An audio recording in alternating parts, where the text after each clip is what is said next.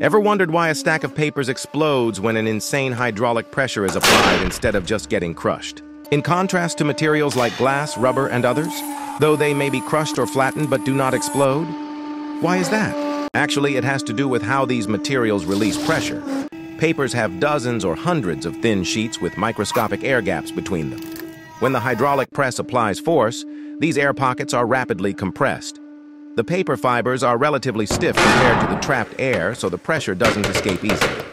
The end result is that compressed air has nowhere to go and suddenly blows outward once the layers collapse or shear open. This is what causes the explosive effect. On the other hand, material like rubber, candy, or metal is a single solid mass with no internal voids or air pockets. And they have good ductility when subjected to pressure. They absorb and spread pressure evenly across their structure, Instead of storing up energy like paper, they deform and flatten. No trapped air means no explosive burst. But mind you, rubber may pop slightly if under tension, but it won't violently explode like compressed paper layers. That is not the case for glass. As glass is brittle, it shatters and does not explode.